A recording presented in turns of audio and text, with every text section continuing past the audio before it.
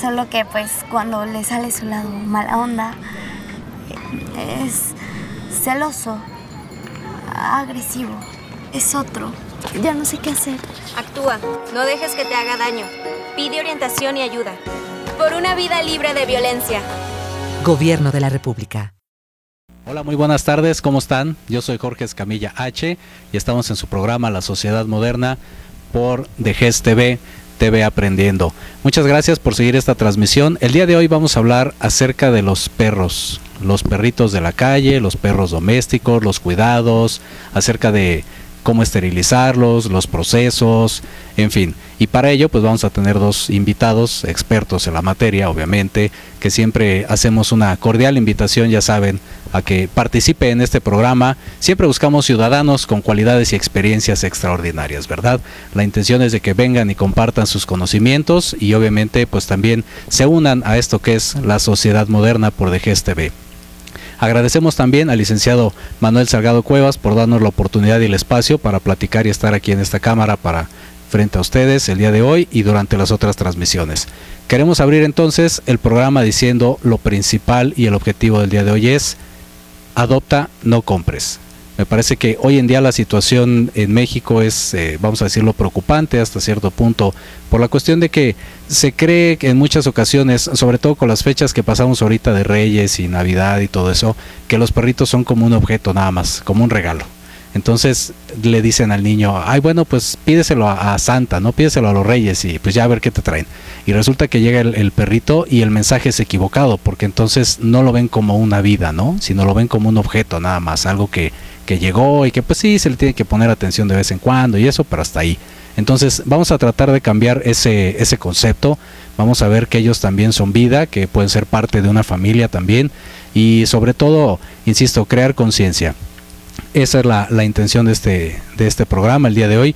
Entonces vamos a abrir las cámaras y micrófonos para recibir a nuestros invitados. Ellos son Andrea e Israel y vienen directamente de Respecan y vamos a platicar con ellos referente a este tema. Hola, muy buenos días, tardes ya. Hola, ¿qué tal? Gracias por la invitación.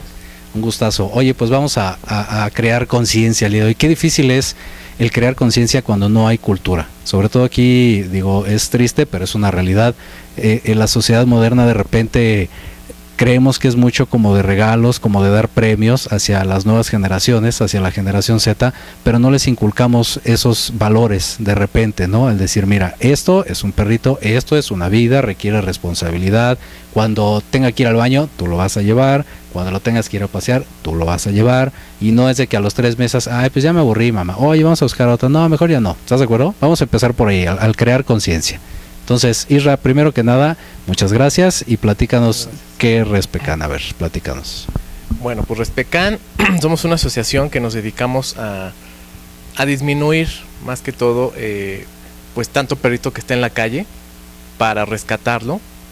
Eh, nosotros nos hemos enfocado más a cuando nos llegan casos o nos avisan casos, oye, este perrito está eh, abandonado, lo atropellaron o así, o tiene sarna o X, son esos casos difíciles que decimos, bueno, pues vamos, porque a veces la gente no las, no las toma, claro, ¿no? Por lo mismo, nada más se toma su foto y pide ayuda.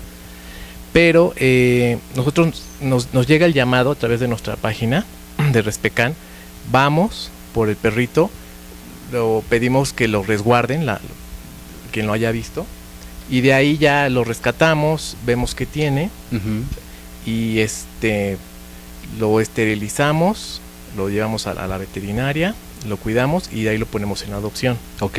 Ya vemos qué tan viable es o no, este, si está atropellado, porque nos han llegado casos de atropellados que ya se arrastran los pobres perritos. Y pues bueno, ahí ya consultamos con un veterinario para ver qué tan viable es la operación o no, y pues se pueda curar y estar en adopción. Ok, Andrea, entonces digamos que ustedes toman los casos fuertes, los que realmente dices, híjole, lo ves en la calle y sí te da como cosita de repente agarrarlos, verlos, no sé, ¿no? Ustedes son los que dicen yo voy. Sí, este, tomamos casos difíciles, casos que ya van a ser sacrificados. Y lo malo es que después uno se encariña con ellos, ¿no? Una vez que ya son esterilizados vacunados, desp- desparasitados, Ujú. ya fueron operados algunos que necesitan. Ya verlos correr, verlos sano y todo, después desprenderse de ellos es difícil y al Sí. momento da mucha alegría, ¿no? Entonces sí, tomamos casos que mucha gente no quiere tomar, ¿no? Ujú. ¿Cuál es, ¿Cuál es un caso así, Ra, que tú digas, híjole, qué difícil? Actualmente, uno que tengan ahorita.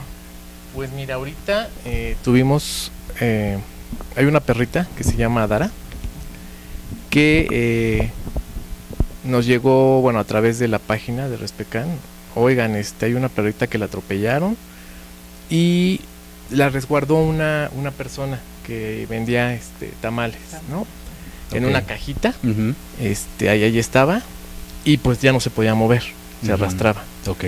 este, pues todo el mundo, ay, ayúdenla, pues ahí vamos, ¿no? Entonces ya, bueno, Andrea acompañó a, a, a Yuriel por ella, eh, estaba temblando, Ujú. por nada más lo- los veía y no sabía qué, pero bueno, total de que pues sí, por la atropellada, pues se arrastraba, no- ya no podía caminar, la tomamos, se le llevó al veterinario, pues se le bañó, se le cuidó, Ujú. y bueno, pues está ahorita en el hogar, en, en el hogar con ella.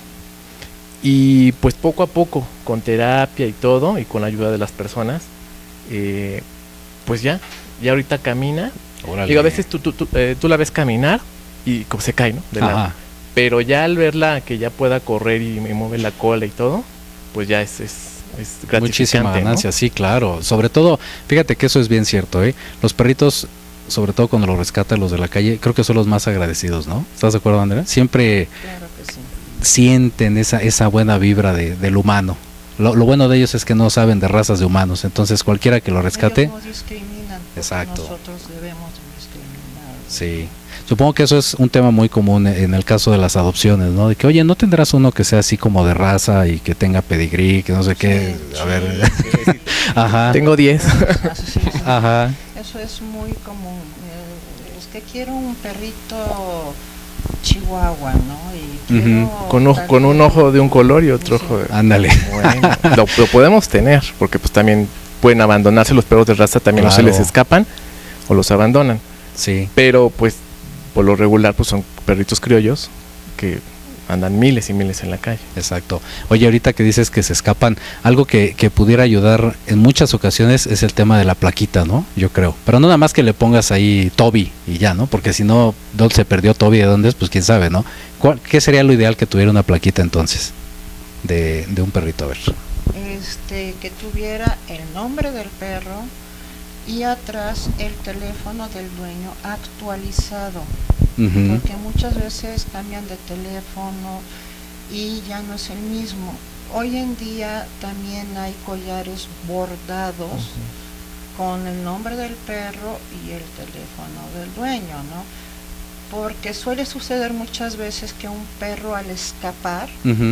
Se pueda atorar en algún lado y si no es una armella, bueno, argolla resistente, Ahí se queda. ahí se queda. Claro. Entonces yo recomiendo collar y plaquita, pero siempre actualizado el teléfono del dueño y el nombre del perro. Yo he visto unas, no sé si las han visto ustedes, yo creo que sí, que tienen ya como hasta la forma de un, de un IFE o de, de una Ah, credencial sí. para votar, ¿no? Para- esas están sí, tan sí, coquetas sí, sí. esas. Nosotros tenemos. Ajá. terminan, este, Zafando. zafando, se atoran Por el plástico, ¿no? Que es como muy- algo. Ajá. No, porque es una mica fuerte. Pero La, la argollita. Ah, ok, Ajá, si ok, la ok. argolla no es Sí. fuerte Ajá. en cualquier este, Reja o- reja O algo. cualquier Digo, se puede zafar. Se pierde. Ay, sí, sí. Ya sería muy mala suerte. Ya. Sí. Fíjate que, muy bien. Fíjate que al- algo bien importante es, es eso, de, de, aunque sean de raza, en ocasiones se pueden extraviar, digo, la de malas, dejar la puerta abierta o algo y, y se escapa, ¿no? A mí me tocó hace poquito, bueno, ya el año pasado, en diciembre, noviembre, diciembre, que encontramos una perrita ya en la unidad donde vivíamos. Y bien chistoso porque primero andaba ahí divagando, ¿no? Ya sabes. A ver quién le daba comida, quién le daba agüita y todo eso. Pero lo curioso era de que estaba, entre comillas, vamos a ponerlo así como entrenada, pues, porque Le hablaba, se acercaba, siéntate, se sentaba y todo, y no tenía un mal aspecto, no se veía así como de la calle, este, no tenía pulgas, incluso nos ganó el corazón, como bien dices, y la llevamos a, a bañar, la íbamos a vacunar, esterilizar y todo. Y, y, estuvo padre porque sientes ese cariño, ¿no? De repente con ellos y ya la encontramos con un amigo hogar luego, luego, afortunadamente.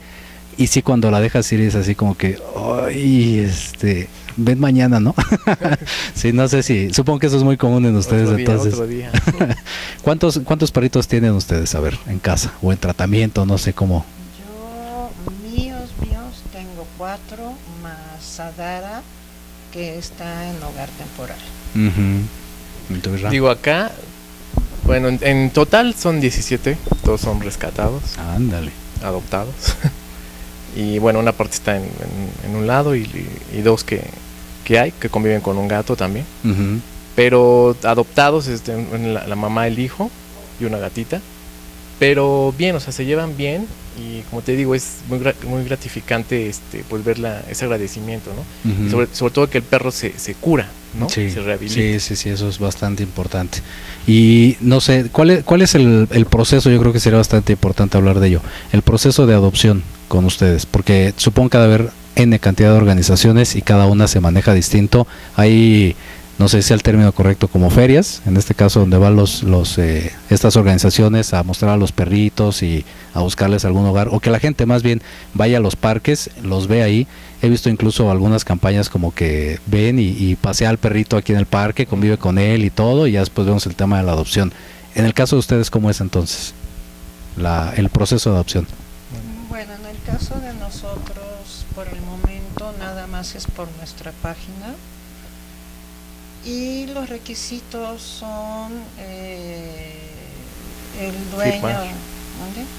El dueño del, del que él quiera adoptar, eh, este, dirección, copia del IFE, de, de donde vive, eh, cuántas personas viven en su casa, eh, que el perro no es un perro de azotea, no es un perro de cadena que esté en el estacionamiento, Exactamente. sino que es un miembro más de la familia, ¿no? Sí. Este es tardamos más o menos tres semanas en, en la investigación porque aparte vamos a la casa de la persona a ver cómo está todo. Después se lleva al perro. eh, el perro convive dos semanas con la familia. Vemos si se acopla o no. Eh, también tenemos una cláusula donde dice el perro no debe ser regalado a nadie, no lo debes de botar a la calle. Si se te pierde, se debe de avisarnos inmediatamente. Esos son los requisitos que nosotros manejamos. Al perro, aparte al perro lo entregamos, este, Entregamos. Este, esterilizado, vacunado y desparasitado. Ok. Y, y por ejemplo, me parece que esa parte de esterilizar es, es crucial, ¿no? Porque si no, se hace como ese círculo vicioso de que ya rescataste al perrito, ok. Y luego es así de que, bueno, ese perrito pues va a tener más perritos y luego ese de ahí van a salir este cachorritas y de ahí se va el ciclo, ¿no? Entonces, Sí, o sea, es, es un círculo y es cuento de nunca acabar, porque digo, la esterilización es muy importante porque una perrita no, no tiene un perrito, ni dos, o sea, las camadas son, son bastante grandes exacto. y después de ahí, ah, ok, pues cruzo a mi perra, pero ya tienes conciencia de qué vas a hacer con toda la camada, y ahí es el problema, ¿no? Ah, bueno, pues los regalo a mi primo, a mi no sé qué, a mi amigo, y de ahí va, ese va siendo el problema, ¿no? Porque no hay una conciencia y se van cruzando, se van cruzando, Sí. y pues no acabas. O sea, a diario nos llegan casos y casos y casos de pues, perros que están atropellados, abandonados, que se escapó. Y es la conciencia, ¿no? De esterilizar es muy importante, por favor. Sí, fíjate que por ejemplo el caso de esta perrita que les decía, me comentaba el, veterinario que él obviamente calculaba uno que era de, de casa, ¿no? Que no se había ido eh, o no tenía mucho tiempo en la calle, pues. Y la otra de que estaba efectivamente entrenada, de que estaba educada y demás. Y la otra cuestión que es también importante es el tema de, de la distancia que pueden recorrer. Él me decía que incluso hasta 15 kilómetros se pueden mover una vez que se pierden y que andan ahí rondando y demás. Imagínate 15 kilómetros fuera de tu hogar y que no sepas a dónde diablos vas a caer, ¿no? Sí, porque a veces digo, se espantan o tienen tan- tanta energía que pues a ver alcanza un perro, corren de una manera tremenda y pues sí, no los alcanzas. Y llega el momento en el que, pues eh, digo, hay personas obviamente pues que son sus perros y se preocupan. Claro. Y este pues los, los empiezan a buscar por redes o ponen carteles. Pero pues es que es, es muy pocos son los, los perros que, que son encontrados otra vez por sus dueños son muy pocos. Sí, la verdad es que sí. Y fíjate que otra cosa que la verdad es que no está padre, siendo muy francos, a mí me tocó también eh, con un vecino que los, los literal los pone a embarazarse hasta morir, te lo juro. Con unos bulldog me tocó puros y, y venderlos, bueno, carísimísimos, ¿no? Ya sabes. Y tuvo una y tuvo dos y tuvo tres y cuatro camadas hasta que el grado de la perrita pues ya Ya no pude. ya no pudo y nos dejó, ¿no? Eso, eso también me parece que es mucha inconsciencia de, del ser humano, del dueño, lucrar completamente, ahí sí ya está lucrando con la vida de, de otro ser vivo, ¿no? Eso, eso es bastante cruel. Entonces, yo creo que, insisto, la intención de aquí es concientizar, no nos vean así como los tíos regañones de que nada más estamos diciendo la, la mala onda, No. simplemente es, es esa intención, ¿no? El ser conscientes de que son una vida y de ahí podemos caer al extremo de dejarlos en la calle o bien otra cosa que pudiera ser más agradable, volverlos como está ahora el concepto de los perrijos, Ah, ¿no? no sé si les ha tocado o ustedes también tienen perrijos, a ver. No. ¿No? ¿No tienen perrijos? ¿Tú, Isram? Más o menos. Más o menos. ¿Por Es qué que más o se menos? Cariña ver. uno con ellos, se cariña uno con ellos. Digo, tampoco los, los visto pues, como bomberos, vaqueros y todo, ¿verdad? Ok. Pero pues su, su abriguito por el frío, unas botitas. De lo normal, lo normal. y ya, ya, porque bien. también no hay que humanizarlos porque pues pierden la, la esencia pues de lo que son, ¿no? Animales, al fin y al cabo, pero animales felices, Sí. pero este tienen que conservar pues lo que son, ¿no? Sí, fíjate que sí hay una gran diferencia definitivamente entre tenerlos en una casa, hacerlos domésticos, vamos a ponerlo así, cambiar el, el concepto de calle doméstico, allá quitarles esa esencia, ¿no? Porque al final del día tiene que convivir con otros perritos sí o sí, o sea, es parte de su naturaleza. Y muchas veces me ha tocado ver casos también donde les cuesta interactuar a los perritos porque todo el tiempo están con los humanos, entonces cuando los llevas a un parque se te pone entre las piernas, se te van para atrás y, y les cuesta dar ese pasito, esa, esa patadita para interactuar con otros perritos. Ahí también es como el otro lado de la moneda, ¿no? El extremo de, de querer apegarlos tanto, de, de, insisto, hacer el famoso concepto este de los perrijos y, y quitarles esa parte bonita de ellos, de ser agradecidos a su manera, ¿no? es. Entonces, ¿cómo, ¿cómo pudiéramos identificar si tenemos un perrijo? A ver, ustedes en su experiencia. Pues es una persona que lo trae vestidito muy mono todo el tiempo, eh, no lo deja solo en un solo momento. El perro come mejor que la persona, por así decirlo. Este, Su pastel. no- Su pastel, a ver, ¿por, por qué se quedan viendo ahí? ¿Quién, ¿Quién le hizo pastel a quién? ¿Quién hizo pastel a quién? A ver. Yo. Bueno, Ok. De cumpleaños. Ándale. con invitados y todo. ¿Sí? ¿Invitados perritos, invitados humanos o qué? Sí. ¿De los dos? Más aparte tengo amistades que hacen lo mismo. Pero Ajá. los perros que nos juntamos, que somos como 15 en la noche, todos conviven con todos. Se han, da- se han dado pleitos y todo, pero esa es la esencia del perro. Claro. El pelearse, el marcar territorio, eh, como dice Israel, no su suétercito para el frío, Ujú. nada más, ¿no? Sí, Porque sí, ya sí, los sí. hemos hecho tan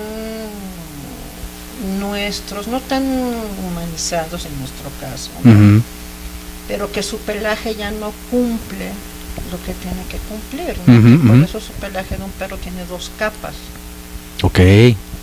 Esa, esa no me la sabía. no. Por eso se tarda tanto en secar un perro. Ajá. Ah, mira, eso, eso está bueno, fíjate. Ahorita que mencionabas el tema de darle su espacio y de convivir con otros perritos, ya también existe, afortunadamente, también varios espacios, por lo menos aquí en, en la CDMX y en el Estado de México, varios parquecitos donde pueden ir a convivir con otros cachorros también, que tienen incluso ahí que los tubos estos y las rampas y cosillas así, como para entrenarlos. Eso me parece que es un, un buen avance, ¿no? Estamos bien en esa parte, ¿verdad? Sí, afortunadamente ya eh, se está creando más conciencia y ya eh, hay más lugares en donde uno puede ir a pasear y convivir con los Exacto. perros, que conozcan otros, hasta, bueno, pues lugares donde puedes ir a comer otros con ellos. Y, eh, y pues que convivan, ¿no? Es un espacio, este, también es responsabilidad del dueño.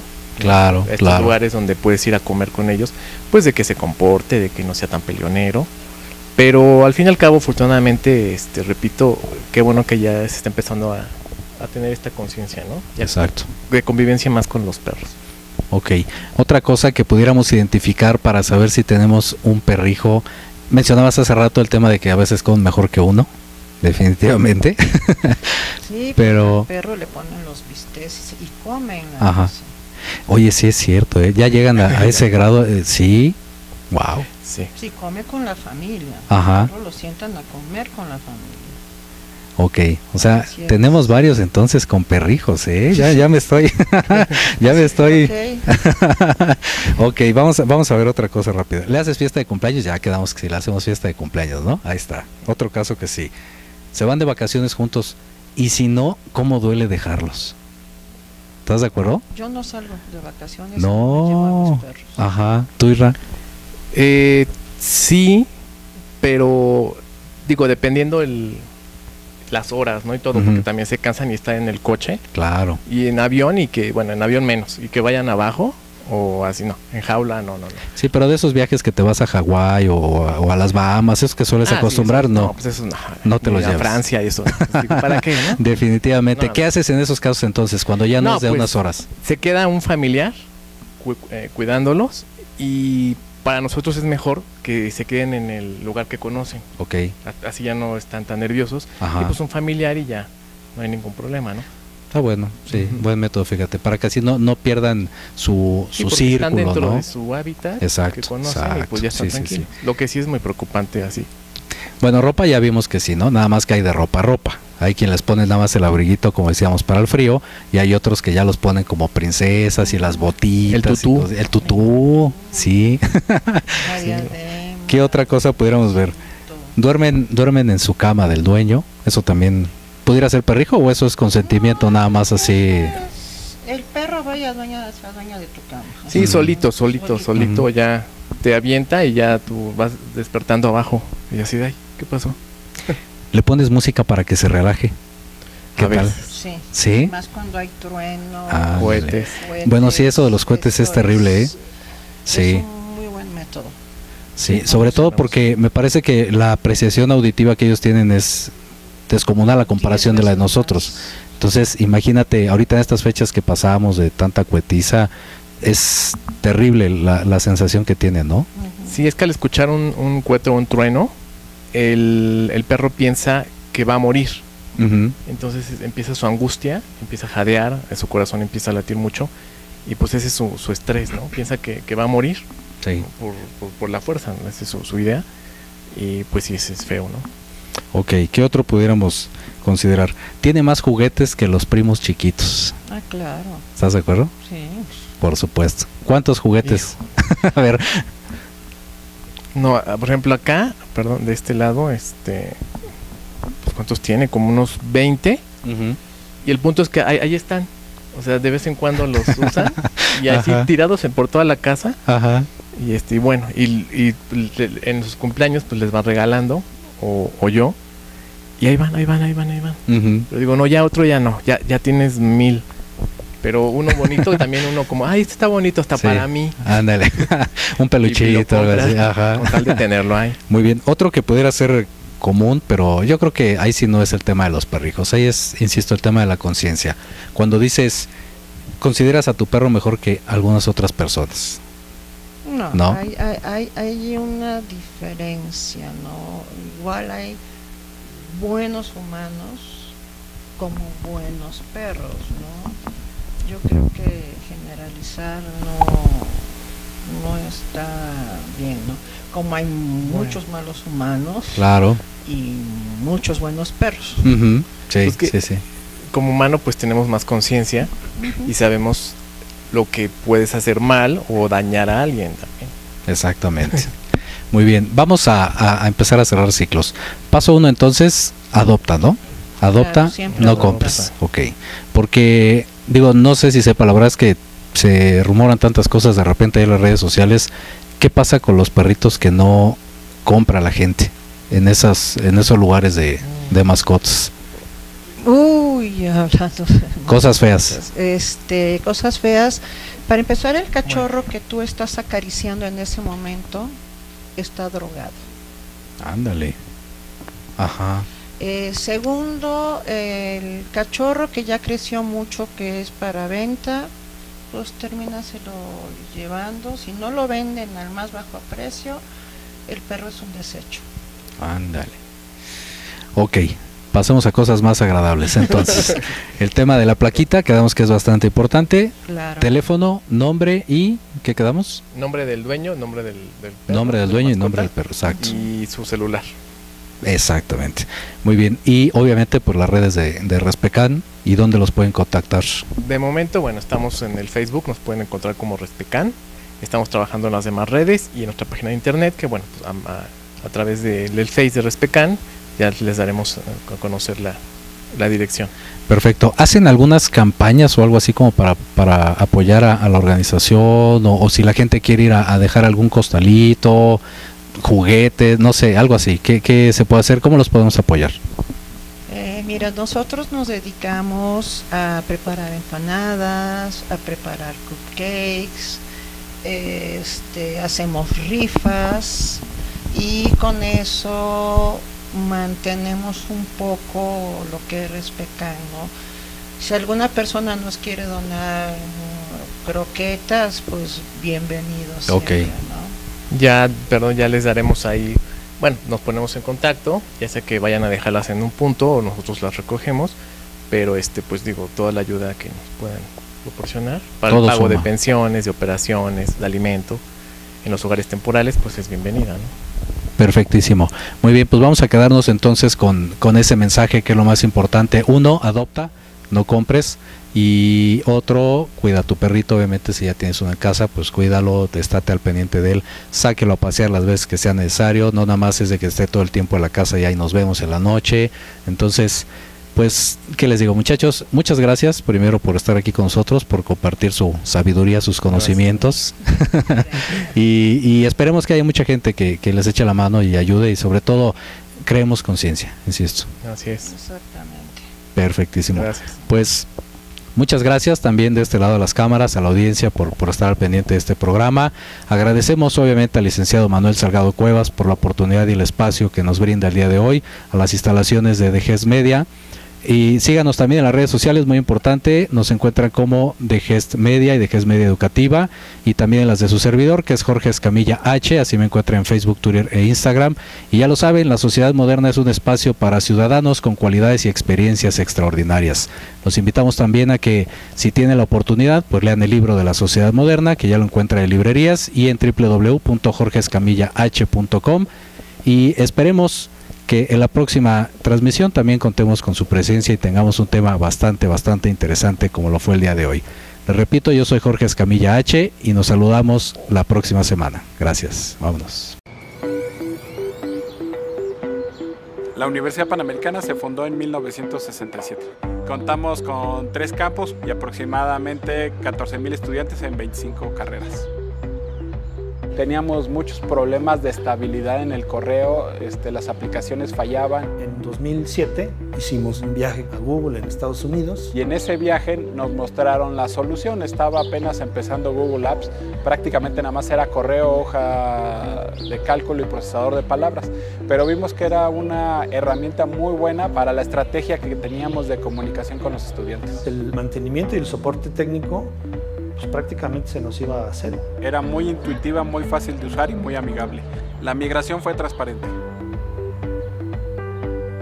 Desde que implementamos Google Apps para educación, se convirtió en lugar de una herramienta de solo comunicación en una herramienta de colaboración. No solamente se ha acentuado la colaboración entre alumno y maestro, también entre los mismos alumnos se ha podido notar una mayor interacción. Cada que termino un documento se lo comparto a mis amigos. Ya ves que tú estás escribiendo el proyecto y se te mete a la mitad y te completa o te corrige. También puedes ver quién escribe cada cosa. Podemos hasta ponerle un comentario, ay, vas muy bien, ¿no? Pues vas más o menos, me está gustando. Ya hay muchas más oportunidades de interacción. Bueno, compartimos todo tipo de documentos, ¿no? Que almacenamos en la nube por medio de Google Drive. Ellos lo van usando para presentar sus mismos trabajos, ¿no? Comparto mis tareas, compartimos las fechas de entrega para la evaluación. Pasar lista, calificaciones. Mis exámenes. Guías de estudio. Muchos también nos mandan formularios como para hacer evaluaciones. Calendar me avisa lo que tengo que hacer y cuándo lo tengo que hacer. Con Google Apps for Education pues puedo hablar con muchos al mismo tiempo. Mis asesorías muchas veces las hago por Hangouts. El flujo de trabajo es mucho más natural para todos puedo checar mi estado de cuenta y mis asistencias en línea. Pueden reservar una sala de estudio. A nivel administrativo, pues ha disminuido mucho los costos. Nos ahorramos la infraestructura de las aplicaciones. Mejorar la interacción con nuestras sedes remotas. Entonces, cosas que se requieren el consenso de varias personas, pues se realizan en menos tiempo. Todo el personal puede ver la disponibilidad de mi agenda por, por si necesitan hacer alguna cita. Este, estoy disponible vía Hangout para cualquier consulta, duda o sugerencia. La tecnología ha cambiado a los estudiantes. La tecnología ya no puede ser un elemento extraño en el proceso de enseñanza-aprendizaje. O sea, es, la tecnología ya está presente en la vida de todos. Creo que los hace mejores estudiantes, los hace más exigentes, los hace más informados, pero también los hace más entusiastas. Va a seguir siendo la herramienta clave para ir formando eso, los ciudadanos digitales que necesitamos. ¿no?